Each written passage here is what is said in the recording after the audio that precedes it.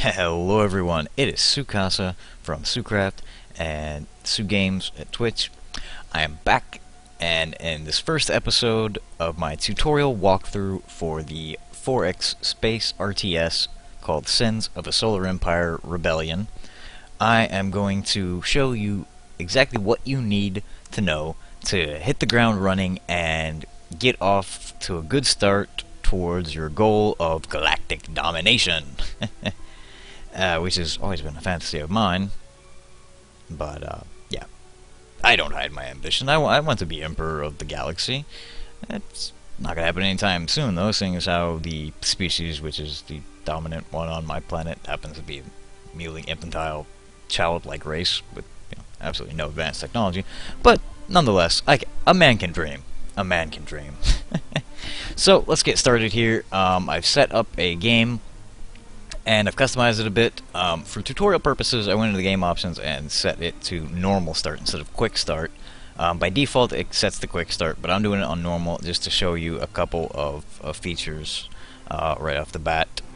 Um, but we'll get caught up to to where it would start you with quick start really quickly. Um, I've set it up so I've got three hard AI and two normal uh, for a little bit of a challenge since I've been playing for years, ever since like the day the original game came out. Um, so because of that, I bumped up a couple of the AI to hard. Uh, I do not, do not, explicitly do not recommend doing that for your first game, even if you are uh, accustomed to RTSs. The AI in this game is insanely good. If you're an RTS vet, try it out on normal first uh, get your feet wet. And if you're new to the genre of RTS strategy games, put it on easy, please. It is a brutal AI. It, it is like playing against a person. Um, anyway, though, I've set uh, the other TEC guy to be on my team, so I can show you a couple of features about teamwork. Um, and I've set, uh, yeah, one of each of the other race to, to hard. Uh, anyway, let's get this started.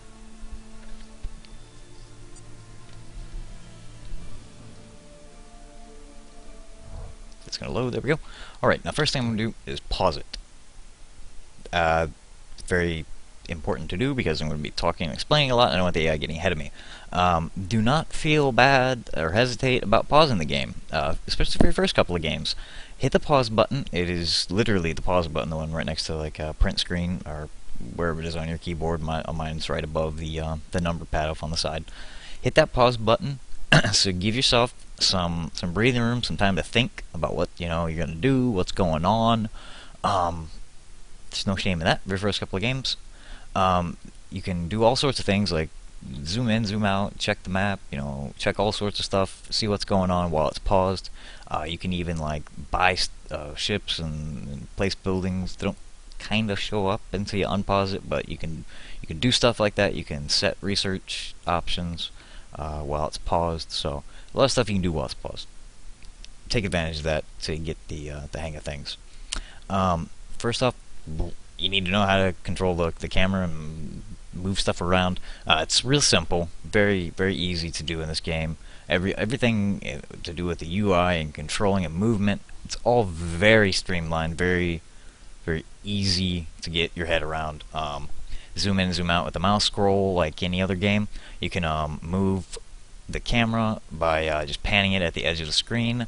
And if you hold down the right click button you can uh, move the camera around up down left right in every direction. But the coolest feature excuse me about the game uh, camera system is uh, its zoom to feature where wherever your cursor is is where it will zoom to which is really neat. So if you want to look over here it will zoom in on that particular spot wherever your your mouse cursor is if you want to zoom in over there like that it's pretty, pretty neat. And um, if you zoom out a bit farther, you can see this is our home planet.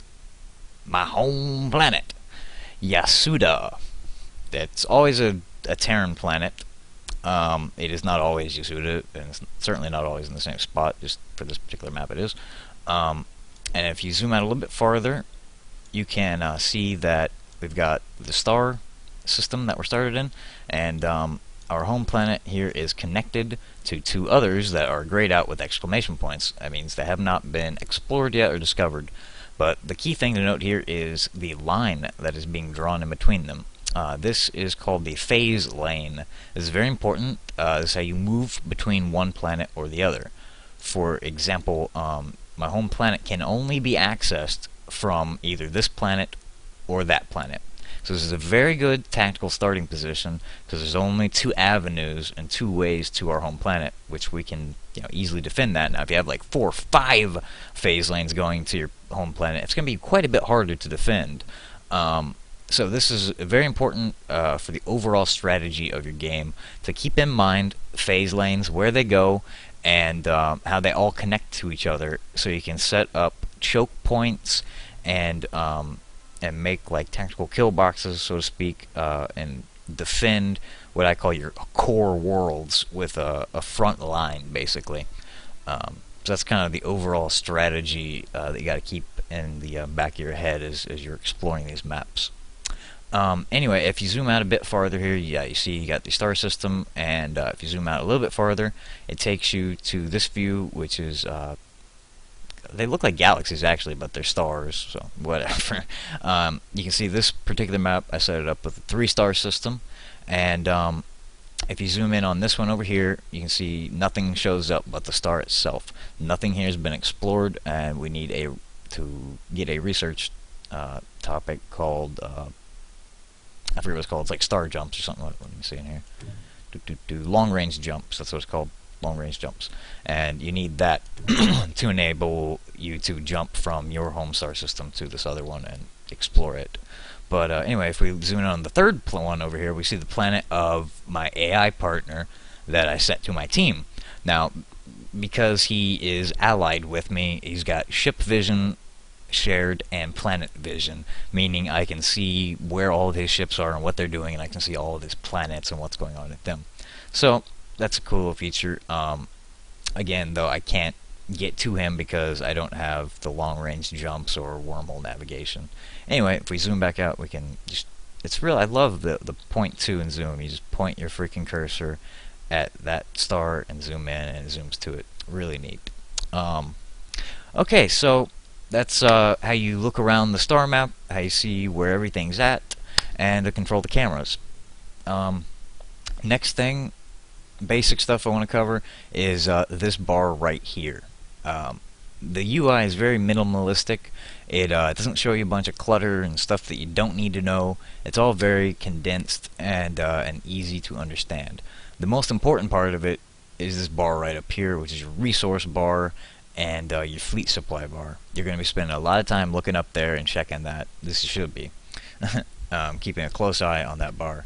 The first number right here, the 1, that, uh, as you can see uh, down here in this corner is where it will show up. If I if I stop hovering over it, disappears. But uh, if you look down there, you see that's capital ships. It tells you that it means we have one capital ship crew available, meaning we can uh, construct one capital ship. Um, there are research things you can get which will increase that number as we go along, but um, that's a little bit farther down the road. I'll show you how to do that. The one next to this is your overall fleet supply, your fleet capacity. Um, it starts out with 100, and basically every ship you build will consume some out of that fleet supply. Uh, at first, our little frigates we build will take 5 away each time we build one, so you know if we build 5 of them, it's going to take 25 out of that and take us down to 75. Um, another thing to note is capital ships, as well as requiring a capital ship supply, they also, all of them require 50 fleet supply. So when we build a capital ship, it's going to take this one away, and it's going to cut our 100 into down to 50. Uh, but they're very powerful ships, very expensive to build, but very powerful and um, and very good to have, very necessary. Um, the next thing here is your credits and when you mouse over it it tells you on the bottom how much your total income per second is. So I'm gaining 10.1 per second of credits and that is based on the planet you own. Uh, how many planets you own what type of planets. Basically their their population is what that's based on. Uh, Terran planets have a high population capacity um, so they get a very good credit income. There are, I think, seven different types of planets uh, that will I'll show you all of them. Uh, each one has different bonuses. Um, there are ice planets, volcanic planets, desert planets, Terran planets, all sorts of different types. Um, some of them have a low population capacity, but they give you other benefits like extra tactical slots or extra logistic slots, so you can build more stuff at them. Um, different types of resource asteroids, like the ice planets have a bunch of, of crystal asteroids. Uh, so I'll cover all of that here in a little bit. Um, but that's that's how you check how much credits all of the different planets you own are gaining you. Next to that is how much metal you have. Uh, I have 800 right now, and I'm gaining a total income of zero because I don't have any resource uh, asteroid. Well, I have the resource asteroids here, but the uh, refinery extractors are not built on them. Now, if you're playing on the quick start, they will be built, so uh, that's going to be our first task. Uh, I'm going to get caught up on that. And the, the purple icon next to that is your crystal and your crystal income down there in the bottom. Um, so yeah, like I said, the first thing I need to do here is to build these resource extractors. Now, on, on a quick start, all three of these at your home planet will be built. However, every other planet you colonize, these will not be built at them. So want, that's why I want to show this to you on how you do that. Uh, the very, very first thing you want to do every time you colonize a new planet is build the asteroid uh, resource extractors uh, to start, you know, taking advantage of them, getting that crystal income, getting that metal income started. So how you do that is um, all you do is click on the planet itself, and that will show the action bar down here. And in the action bar, you can do many different things. The green thing in here is how you develop the planet and upgrade its infrastructure. Uh, these two purple ones are for building buildings at that planet uh, in the gravity well. The the first one is logistics, logistics buildings like uh, factories and research buildings. The second purple button here is for tactical structures like uh, your defense platforms, your uh, defense cannons, stuff like that. And the bottom row here is for building ships.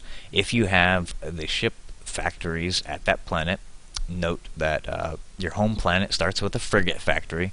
On Quick Start, it also starts with a capital ship factory. Um, and if it's grayed out, it means you don't have the corresponding factory, like right now, because on normal start, I don't have the capital ship factory, and you won't have a Titan factory yet until you research that. But um, so yeah, grayed out. excuse me. Uh, grayed out stuff means you can't build it.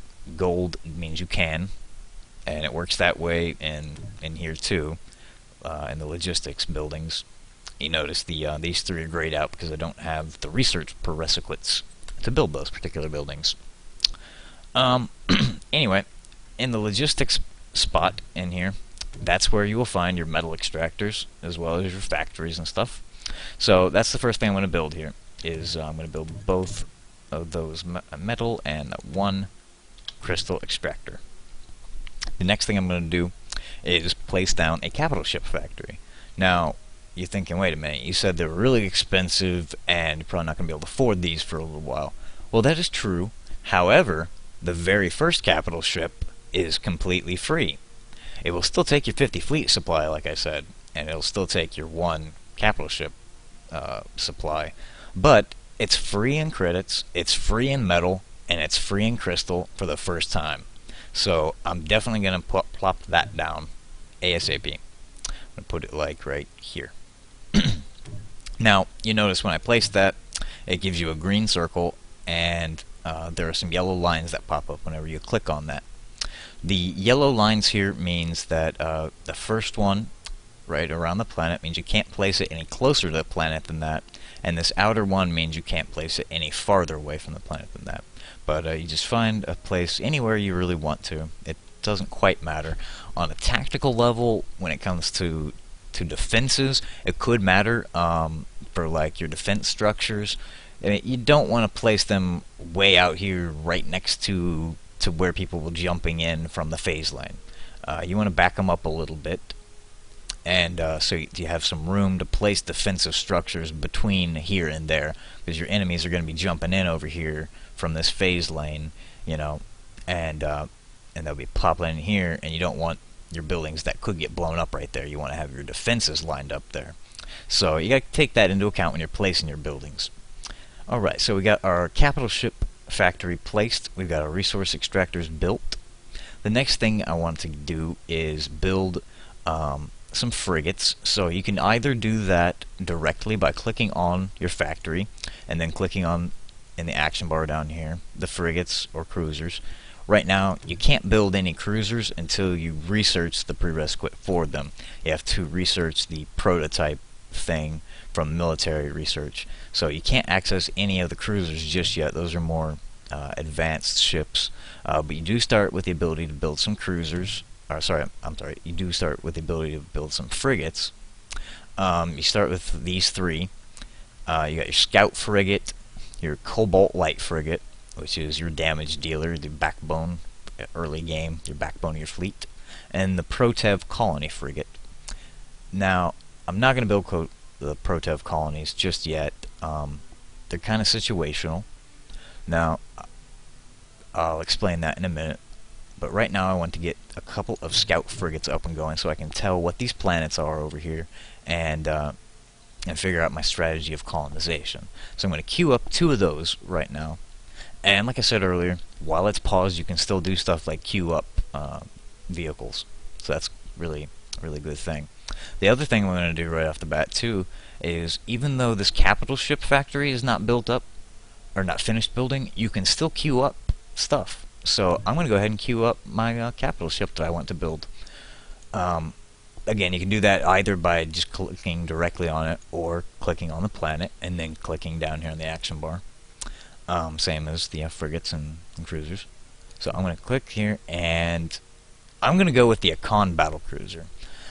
now, as the TEC, you do have six options here, but really, in my opinion, you only have one option. And the reason for that is what each of these capital ships specializes in doing. Each one specializes in a different thing. Um, you got your Kol battleship, which is your mainline battleship, your, your backbone damage dealer. And then you have more support stuff, like your carriers that are fighter bomber carriers.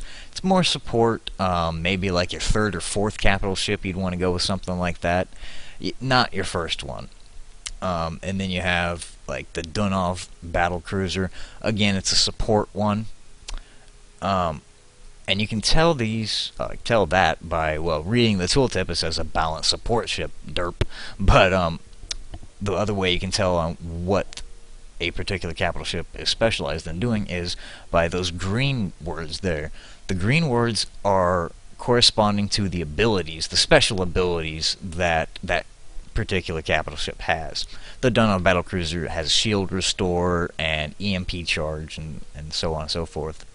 Um, whereas the Akkan battle cruiser that I want to build has colonize. That's the reason why I want to build it. I will uh, be able to colonize planets with this thing instead of using that Protev colony ship. Now, there's a lot of reasons why you want to do that. For one, this is a big, beastly, freaking capital ship that can hold its own in combat and be the backbone of my fleet early on. Uh, the other reason is it has a lot more antimatter. All of your activated skills, like colonize, take antimatter, and um, the Protev doesn't have a very big antimatter pool. Another reason is um, the fact that the speed at which the ship moves. The Akkan battle cruiser simply moves through the space quicker and gets to the the, uh, the planets faster. So early on, highly highly recommend go with the Akkan battle cruiser or its Vasari and Advent um, equivalent. Each one of the factions has an equivalent ship that can colonize stuff. So I'm going to go ahead and queue that up, and as soon as the um, the capital ship factory is finished building, it will go ahead and start constructing it. Now, of course, that was free. Didn't take any of my metal or crystal, which is awesome. So what I am going to do, though, is now that I still have 46 fleet supply left, I'm going to go ahead and queue up a couple of the Cobalt Light frigates to be uh, the ancillary ships that I build my fleet around the capital ship with. Um, now, I have enough fleet supply to construct eight of these, so you're going to want to build eight of them. Don't quite don't quite have enough credits to do that. However, um, there is a way around that, and that's another feature I want to show you right now. You might have noticed up here in the top right, there's this box um, with a bunch of numbers there, and you probably have no idea what the heck that means, but I'm going to show you right now. Uh, it's a quick way I can get some more credits. This is what they call the black market. It shows you uh, the top one is metal, and the bottom one is crystal. Now, the red one, uh, the red numbers are buy, so you can buy metal, at a cost of 478 per 100 or you can sell it. The green numbers are for selling, so if I have excess metal that I don't particularly need at this very moment, I can sell it for 239 credits per 100. So I'm going to do just that. I'm going to sell 100 of my crystal and 100 of my metal, and that'll give me enough credits to build two more cobalts. So I can have five of them queued up at this very second, which is awesome. Um, I need eight of them, so I'll just have to, to queue those as I gain more resources because I don't want to sell all of my metal or all of my crystal because well, I need some of that. As well as costing 300 credits, it also costs 500 metal uh, for these light frigates. Okay, now what else did I want to cover? Um, I'm going to unpause it. Something else I totally forgot about mentioning is um, if you're playing Diplomacy or Trinity versions of the game, the only way to access the escape menu, which you would think would be escape, it's not. It's F10 or clicking this button up here, uh, menu, game menu. You can rebind that from F10 to something else. Uh, it was very confusing when I very first got the game all those years ago. I could not figure out how the hell to pull up the menu. It took me quite a while to realize uh, what the hotkey for it was, because it um, I didn't see that menu button up top, and I was just pushing all these buttons like, why the hell's not escape not working? So I finally hit F10, randomly hitting buttons. I went, oh, derp. That's a stupid way of doing it. So if you're playing Trinity, um, that's how you pull up the game menu for Rebellion, they did change that and added in the functionality of hitting escape. Um, the first thing I would recommend doing, unlike what what I said earlier, was pause the game. Actually, I would go into the escape menu and save it. Save it and uh, call it whatever the hell you want, but I call it I always call it start. Whatever I'm going to name the map saves, and but put start at the end of it. Um, so that way, if you make a mistake early on, um, you weren't paying enough attention, something bad happens, and you have to start over, but you like the map itself. If you like the configuration of where you start, where the uh, planets are, and all of that, and you want to keep that, but just start over, then having this initial start file, uh, save file, is very, very handy. So as you can see, I always have a start file every time I start a, a map. Um, but what I'm going to do right now is save this as tutorial 1. Okay. So I think I think I'm caught up right now to where you would be on a quick start. I've got all my resource asteroids, I've got my capital ship, and I've built two scout frigates. That's where you would be that's where you initially start on quick start. Um, so the first things you want to do, queue up that Akkan battle cruiser and get eight Cobalt light frigates up and going. I'll and the next thing is take your, well, the first thing you want to do aside from building stuff is take your scout frigates and send them out. And the way we can do that is there's a lot of different ways to select it. You can either just hover over it and left click, or you can do the standard like Windows thing and just left click to drag a box around it and highlight any ships in that box. Alternatively, there's this thing off on the side that's called the Empire Tree. Um, on the Empire Tree, you can see uh, it lists all your buildings and all your ships. So you can click on the ship through there as well. Pretty nifty little thing. And you will see that once it is selected, there's a like white box around it in the game screen, as well as a square, a white square around it in the Empire Tree. Um, so I'm going to select it, and I'm going to set a hot group to this thing so that way I can find it back just by pushing uh, either 1 through 10. Um, I have a system where one through three are my main battle fleets. Uh, five is like my bomber group, um, and my scouts are seven through nine. That's my own personal system, but I would recommend getting a system of your own. It makes things much easier, um, especially with uh, loading up an old save file. Uh, you know exactly what button to push to find your scouts, what button to push to find your main fleet, and uh, it's going to be very, very, very helpful. Uh, so I'm going to set this guy to be number 7 by holding Control and then pushing 7. And now, if I unselect him, uh, all I have to do is hit 7 and it will highlight him and select him. Also, uh, if you're not sure where the heck he is and you're looking somewhere else, just hit 7 or whatever number you set it to, hit it twice, and it will zoom the camera back to him. Very, very handy.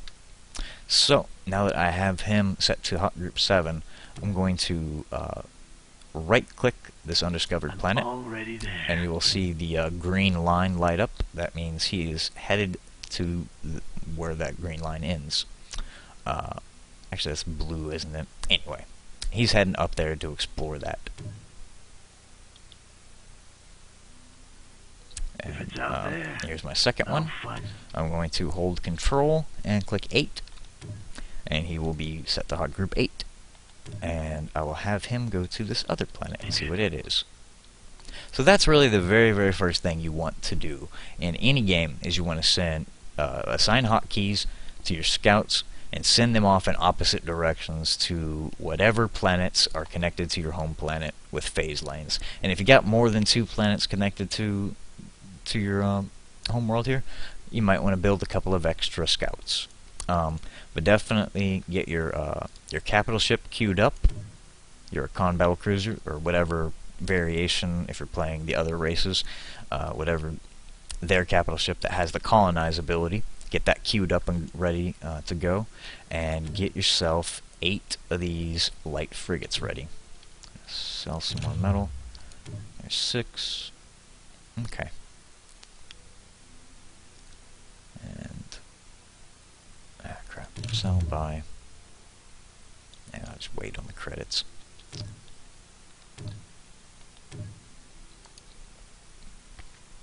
Alright, so um, one last thing uh, I want to leave you with is um, the rest of the UI that I haven't covered thus far. Uh, just briefly mention them. I will go into much more detail uh, later on. Um, if you're noticing that you're having to wait a while, now for your very first game, I would probably not recommend doing this at all, if if at all. Very limited. Um, because you're trying to wrap your head around and explore the UI and trying to find stuff. Uh, but if you do notice that you're having to wait a while for resources to gain or uh, an action to be performed, you can speed up the game time. I think I mentioned that in episode 0. Uh, you can speed up the game time with these buttons down here that increase game speed or uh, decrease game speed. Uh, they're default mapped to uh, the equal sign and the minus sign right next to a backspace on your keyboard or you can just click these plus and minus buttons down here. It is very uh, very handy to use in some occasions where you just need that little bit more metal and then you can queue up your ship or, or whatever uh, you might be doing that you just need a little bit of time to pass and you, are tired of waiting. Just click that. Um, another thing I wanted to show you real quick before I go is uh, this these four things up at the top are pretty important. I'm going to cover each one in detail. Um, probably devote a whole episode to them. Um, this button right here pulls up your diplomacy window where you can see your standing of um, you know, military economy diplomacy. Uh, it basically compares how well you're doing against the other players. Uh, but more importantly in here, that's not really where, what you'd be looking at, is your faction standing with all of the other uh, players in the game. You can see my faction standing with this guy is at 10. Um, that is halfway. It can go into negatives, you can get like anywhere from negative 20 to positive 20. Uh, 10 means they really like you. Positive 20 means they absolutely love you. That's the maximum. Uh, 0 means they're pretty ambivalent. And if it's negatives, that means they really hate you. um, so, like this guy here, Purple, he really hates me. Negative 9.95, basically negative 10. Uh, yeah, pink is negative three, uh, three, negative two, negative one. They don't hate me quite as much as purple guy, but yeah, none of them really like me all that much aside from my ally. So that's how you tell your faction standing with other people, and uh, I'll go cover this in much more detail. This button here show just uh, gives you a more condensed overview of what other people think of you, um, but it's mostly used to see what other people think of someone else. So I can see that if I click my ally, I can see what the other people think of him. So yeah, purple guy really hates my ally as well. Purple guy's got um, negative 13 on my ally. Uh, anyway, though, that's that. Um, this window in here is your research. The beaker is your research window. I'll devote like a whole episode to that. It's exceedingly important. And uh, this one's the criminal underground, which just gives you a bigger view of the uh, buy and sell crystal that's already on the overlay up there. Um, the other thing, the big thing really in, in this window is actually the pirates tab. And again, I'll devote like a whole episode to that. It's very, very important. Come later in the game. But um, suffice it to say, this is where you place bounties on the other players that the uh, pirates will then go and attack them. Uh, but they only do that every 15, 14 minutes, like that. 15 minutes, I think. So we have pretty much 14 minutes until we have to worry about that. So anyway, that uh, pretty much concludes this episode on what to do right off the bat. Quick recap. Get your scouts headed out to all of the undiscovered planets that you have connecting to your home planet through these phase lanes. Queue up your colonizing battle cruiser, uh, capital ship, and queue up eight of the light frigates. And that will pretty much use up all of your fleet supply and get you set up in a very good position to, uh, to pounce and get you some planets, which is what we're going to cover in the next episode. So, if you did enjoy, and hopefully you found it informative, I, I do hope so, and you're watching on my YouTube channel, clicking that thumbs up down there is, as always, much appreciated. And if you want to see more from me, then please subscribe. And follow me at uh, twitch.tv. My account there is Tzugames, T-Z-U-G-A-M-E-S. Until next time, though, Tsucas is signing off. I hope you have a good one.